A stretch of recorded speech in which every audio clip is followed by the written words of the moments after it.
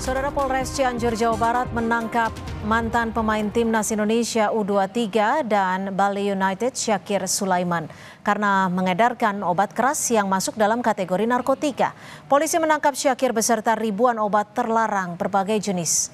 Kasat Reskrim Polres Cianjur AKP Tono Listianto mengatakan pengungkapan tersebut berawal dari adanya laporan ke Sat Reskrim Polres Cianjur terkait peredaran obat terlarang. Tono menyebut ex pemain timnas U23 itu sudah mengedarkan obat terlarang sejak dua tahun terakhir. Syakir berdalih jika tindakannya itu dilakukan lantaran membutuhkan uang.